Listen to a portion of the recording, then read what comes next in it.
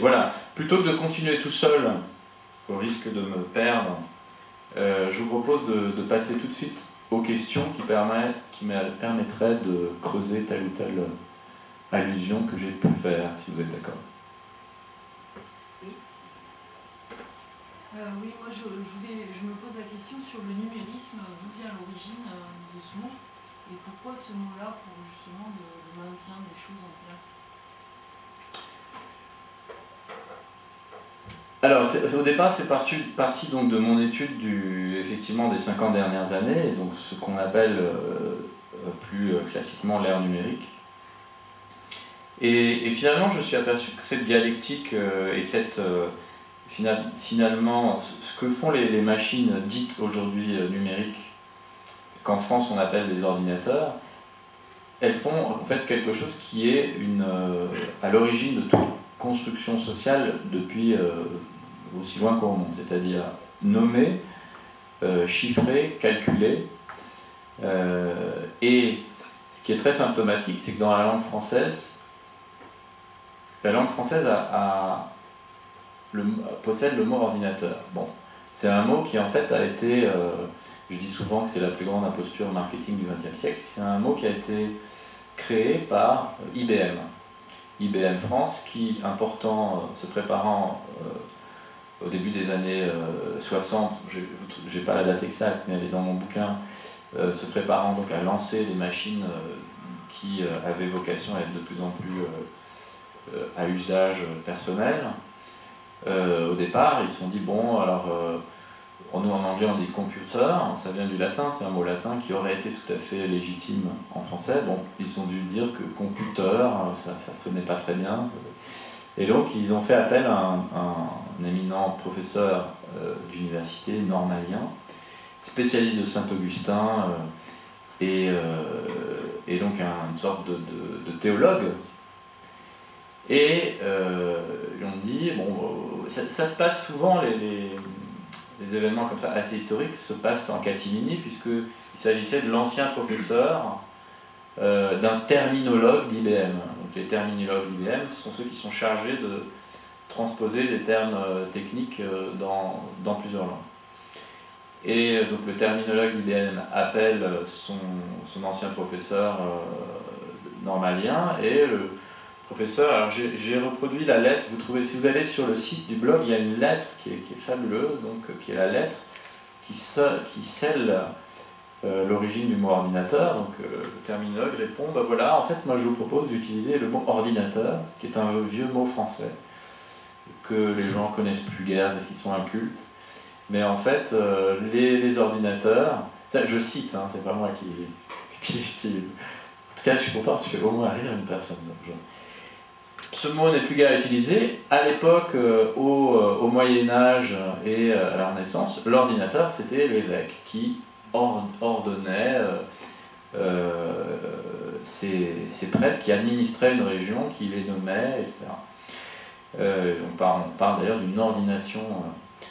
et, donc, c'est ainsi que le mot d'ordinateur vient donc en français de, du pouvoir ecclésiastique. Et voilà, maintenant pour répondre à votre question, on pourrait dire, il m'arrive de dire parfois ordination plutôt que numérisme. Mais pourquoi je dis numérisme? Parce que, et ça, ça fait boucle avec euh, la, fin de, mon texte, Joie, euh, J euh, mais qui est aussi la joie en français. Dans mon premier roman, Joie, j'imaginais qu'il existait une voie qui menait, une voie politique qui menait au bonheur de l'humanité par la musique. Et faisant des recherches dans le roman lui-même, le personnage euh, redécouvre la tradition euh, pythagoricienne. Et la secte pythagoricienne, à l'origine, était une secte, on va dire, fondatrice euh, pour la, culture occidentale. Ils passaient leur journée divisée en deux, mais c'était le même groupe. le matin, ils faisaient des, mathématiques, et mathématiques en, ceux, qui calculent, le matin c'était le groupe de ceux qui calculent, les mathématicoi, Et, et l'après-midi ou le soir, ils, écoutaient les planètes, la musique des sphères, le, le, son continu du, cosmos dont, dont finalement le réel, ça on pourra développer si vous voulez, ne serait qu'un spectrogramme. Qu'un spectrogramme. Et ceux qui écoutent, ce sont les acousmatikoi. Et à la mort de Pythagore, la secte a été persécutée. Et on ne sait pas très bien ce qu'elle est devenue, ou plutôt si, puisque dans mon roman, je, bah, dis effectivement les mathématicoi, on sait ce qu'ils sont devenus. Ils ont, euh, absolument euh, pris le pouvoir, leur idéologie a pris le pouvoir sur ce monde. Nous sommes dans un monde de ceux qui calculent.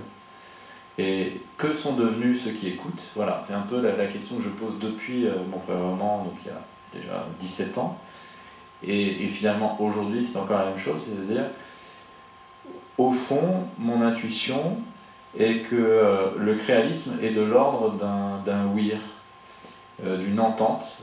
Euh, là, encore, la langue française est, assez bête, puisque non seulement le mot ouïr est fabuleux, parce que ça donne joie à la première personne, mais, mais en plus, ouïr, on a l'impression que ça, veut dire dire oui. Mais il y a un autre terme encore en français, parce qu'on parlait de Lacan tout à l'heure. Lacan a un mot pour l'équivalent de ce que j'appelle moi le créel. Euh, il dit c'est la jouissance. Voilà. Il dit la, jouissance c'est finalement l'équivalent de l'absolu. Il y a même une phrase de Lacan qui dit si, Dieu existe, euh, alors il est, il est jouissance. Ce à quoi Hélène Sixou, euh, célèbre féministe, mais elle n'est pas que féministe, euh, c'est un auteur avant tout, a répondu Bon, ok, je suis assez d'accord avec ça, presque. Sauf qu'il y a encore quelque... Pour ne pas confondre avec la jouissance masculine, euh, qui est plutôt de l'ordre de la fin de quelque chose, d'un relâchement, de on va plutôt dire quelque chose qui serait plus proche de la jouissance telle qu'une femme pourrait la vivre, dit Hélène Sixou, donc on va dire la joissance. Et euh, c'est l'autre, c'est l'équivalent du créel pour Hélène Sixou, c'est la joissance. Donc c'est ce que le créalisme essaye de faire, et, évidemment avec des actions plus ou moins concrètes, et dont vous trouverez quelques échos euh, assez facilement sur Internet, c'est finalement de permettre une société où euh, il y aurait un peu plus de joissance. Je sais pas si j'ai répondu. Super, mais le numérisme, c'est toujours pas très clair en fait. Est-ce que c'est par rapport à la numérisation, euh, euh, si ça figeait les choses, quoi, et que ce serait quelque chose de conservateur par rapport à vous faire bouger les choses, et puis il y aurait quelque chose qui ne pourrait pas, vous appelez le numérisme. C'est ça. Mais ce serait figé par quelque chose de froid et robotique. Quoi. Pas, nécessairement, euh, puisque en fait, je dis bien que le numérisme, l'ordination est nécessaire à toute société. Je veux dire, les castors euh, construisent des digues, euh, c'est. Pour qu'il y ait du. Je ne conçois pas une société, un monde sans réel. Donc pour qu'il y ait un monde, il faut ordonner, nommer, euh, l'essentiel d'ailleurs de ce que nous voyons euh, procède de la nomination. On, voit difficilement ce pourquoi on n'a pas de mots. Et donc euh, j'appelle numérisme en général tout ce qui procède de, de la règle, voilà, de, l'agencement de monde. Et, évidemment, il y a plusieurs mondes, ça aussi, c'est quelque chose qu'on peut avoir tendance à oublier aujourd'hui, puisque on, on nous vend un seul monde possible, le monde que j'appelle capital humaniste, puisqu'on ne voit les choses qu'en termes de, capital et, euh, et, de, pathos. Mais en fait, il y a plusieurs mondes possibles. Pour agencer ces mondes, il faut nécessairement du créalisme et du numérisme. Et c'est en cela que, on va dire, euh, je, entre autres, je reprends la notion d'ordre à, euh, si on veut, à la droite, vous avez dit le mot conservateur. Il faut savoir que le mot ordre, euh, c'était presque tabou dans tous les mouvements de gauche euh, dans les années 60-70. il fallait être contre l'ordre. Et ce qui paraît, moi, est une, aberration, bien sûr, c'est le fantasme de la ligne de fuite, de la, libération totale, etc., du retour dans le créel. Mais pour ça, je veux dire, on, il sera assez temps de retourner dans le créel quand on, sera mort. Euh, en attendant, si on veut euh, vivre en société, il faut trouver un équilibre entre l'ordre nécessaire, dont si nous, ne nous chargeons pas, d'autres le feront à notre place, et évidemment la participation euh, physique, sensorielle à l'émotion créatrice.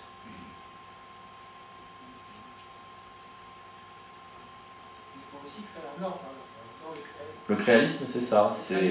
C'est, créons, créons notre ordre.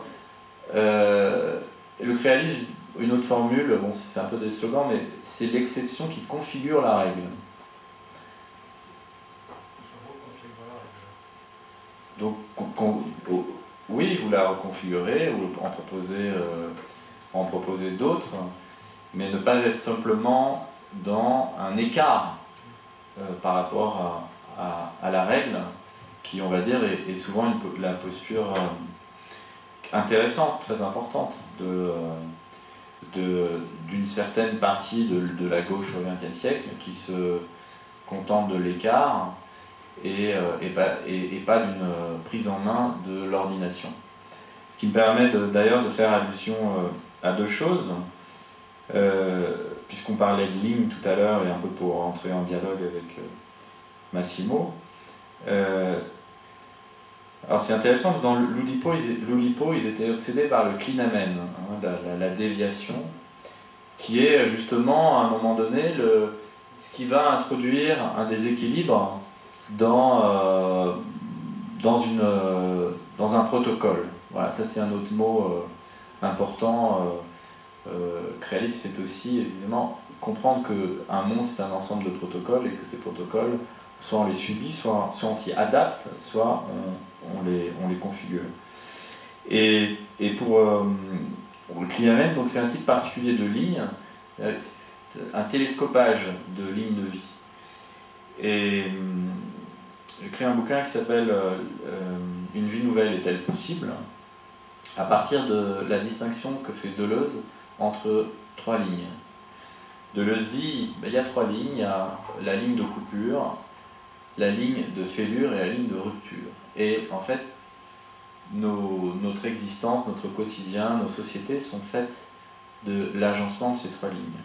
La ligne de coupure, c'est la ligne des antinomies euh, rigides. C'est euh, soit, tu, soit tu travailles, soit tu es au chômage. Soit tu, euh, vas à l'armée, soit tu, es un déserteur, soit. voilà, c'est tout. Soit- tu te lèves le matin, soit tu te lèves pas le matin, soit tu vis allongé, soit tu vis debout. Voilà, c'est la ligne de coupure, on va dire que c'est c'est vraiment euh, là que qu'opère le numérisme, c'est-à-dire euh, c'est euh, le courant passe, le courant ne passe pas. La ligne de rupture, eh bien, c'est en quelque sorte l'inverse.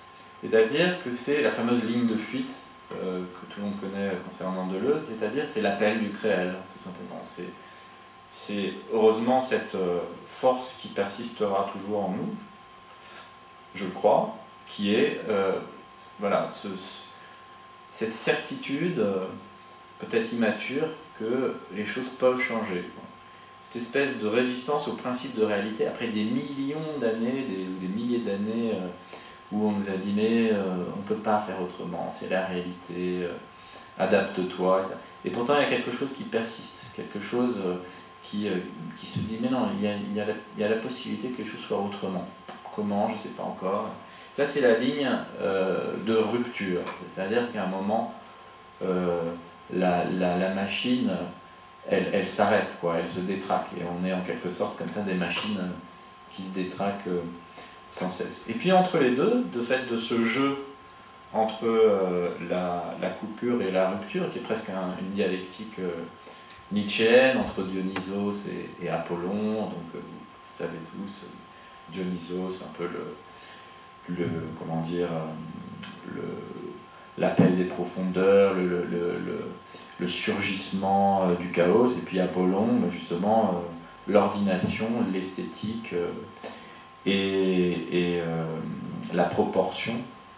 entre les deux, donc du jeu de ces, de, ces deux lignes, qui, forment presque une compression dans, dans chacun de nous, il y a, dit Deleuze, à partir d'une nouvelle de Fitzgerald, la ligne de fêlure.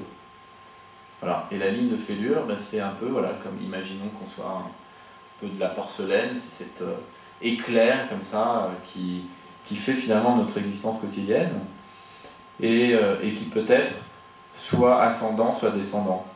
Voilà. Donc, si c'est descendant, ben, c'est ce que vit Fitzgerald dans La Fêlure, hein, qui est une très belle nouvelle où il dit à sa copine, mais euh, euh, Fitzgerald donc, est très célèbre, puis il n'arrive plus à écrire. Donc il dit, bah voilà, je, je, je suis une faille, j'ai en moi une fêlure, euh, j'arrive plus à écrire. Et sa copine lui dit, mais imagine que cette faille soit le Grand Canyon. Et, et, cette fêlure, elle peut donc être descendante, mais elle peut être ascendante. Voilà. Et cette fêlure ascendante, je ne sais pas si c'est un gros mot, mais ça pourrait être aussi une, euh, une des directions à prendre pour euh, une, euh, une vie nouvelle, plusieurs vies nouvelles. Est-ce qu'il y a d'autres questions? Il y a une question au milieu là. Moi j'en ai une autre. Et après Massimo. Quand vous dites que le créel est de l'ordre de l'ouïr, est-ce que vous n'avez pas peur que ça soit assez vite perverti en quelque chose qui relèverait soit d'un mysticisme, soit d'un néoplatonisme, où on irait justement rechercher, euh, enfin, créer des choses à partir d'idées toutes faites qui viennent justement d'un monde supérieur qui serait celui des idées Ouais. Alors, très bonne question. Euh, pourquoi? Parce que ça me permet de dire que le créalisme est plutôt anti-platonicien, dans la mesure où, précisément, le créel, c'est pas un, assemblage euh, d'idées, c'est plutôt quelque chose. Alors, vous allez me dire, mais si le créel est, un flux euh, métamorphique primordial, euh, les idées euh, y sont plus ou moins contenues. Là, je serais plutôt aristotélicien et je dirais elles y sont virtuellement contenues, mais sans un agir, un faire et un modelage. Alors, l'idée n'est pas nécessairement préexistante. Donc, par ailleurs, et ça, ça se verra plus dans, mon bouquin L'être et le néon, qui est une critique de la tyrannie, du visible. En cela encore, je ne suis pas platonicien, puisqu'il ne s'agit pas de dire euh, quitter la caverne et les lumières artificielles pour vous tourner euh, vers le soleil. À mon avis, c'est à peu près la même erreur, euh, que ce soit la lumière du soleil ou la lumière artificielle. C'est encore le, paradigme du, et du voir.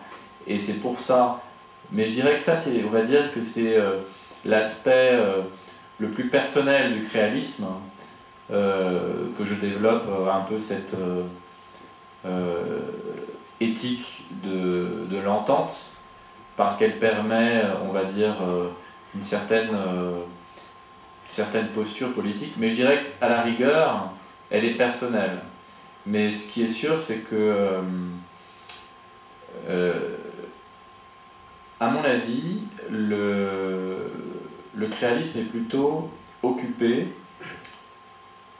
du domaine de l'agir, du domaine de l'action et du domaine de euh, la production en, société par une entente politique de euh, d'un ou plusieurs ordres euh, qui seraient viables.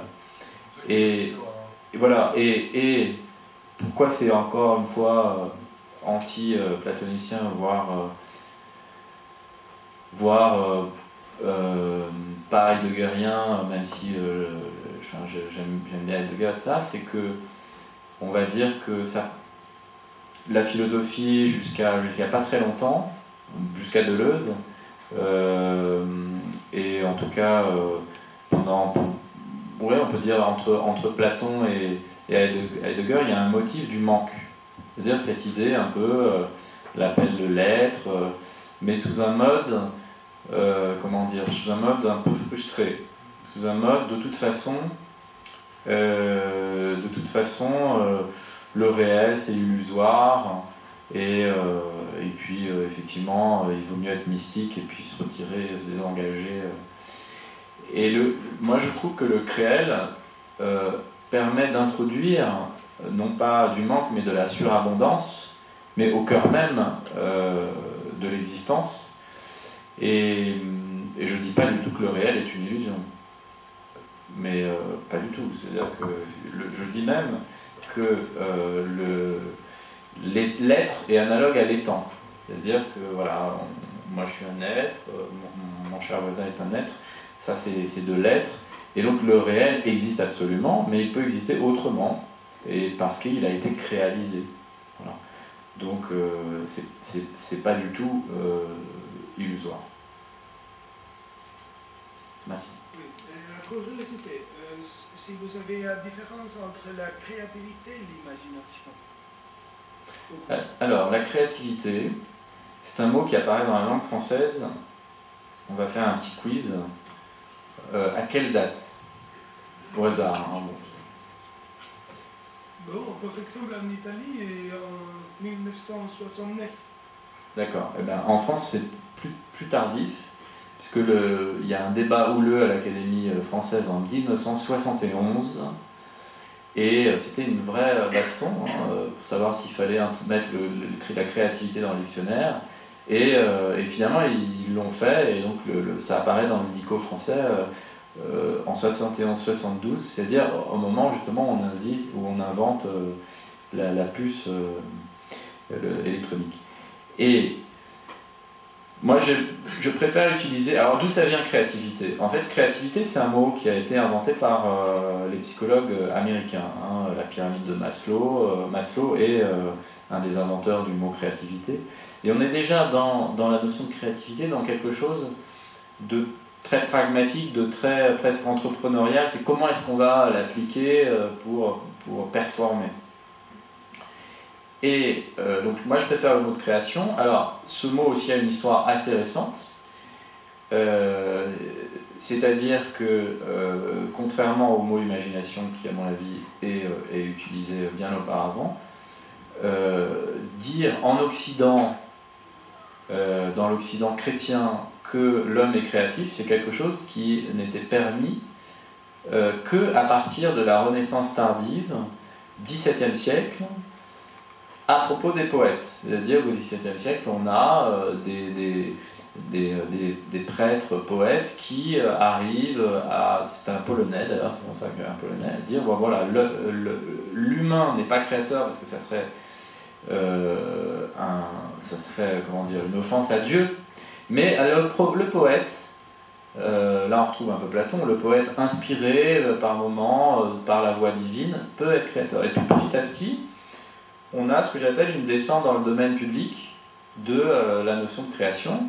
Donc après le poète, il y a eu les sculpteurs. Hein. Quand Nietzsche dit en 1883 Dieu est mort, cette phrase veut exactement dire nous nous emparons de la création. La création tombe euh, dans le domaine public avec euh, cette phrase de Nietzsche.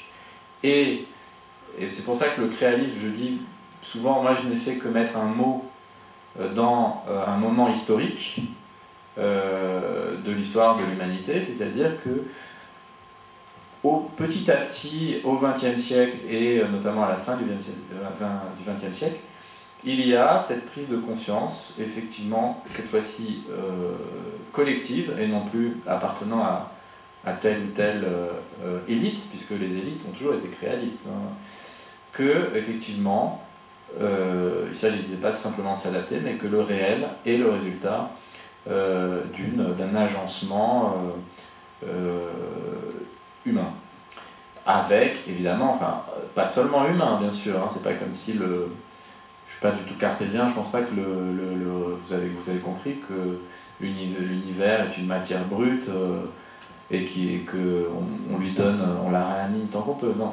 Mais en tout cas, effectivement, euh, le créalisme, je dirais que c'est le moment actuel d'une euh,